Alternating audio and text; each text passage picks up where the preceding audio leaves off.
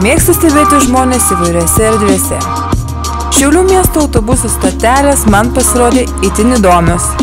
Organizuojant projektą stotelę, mano tikslas sukurti instaliaciją mieste, kuriame gyvenu. Tokiu būdu pamatyti žmonių reakcijas, parodyti, kad kūryba yra kasdienybės dalis.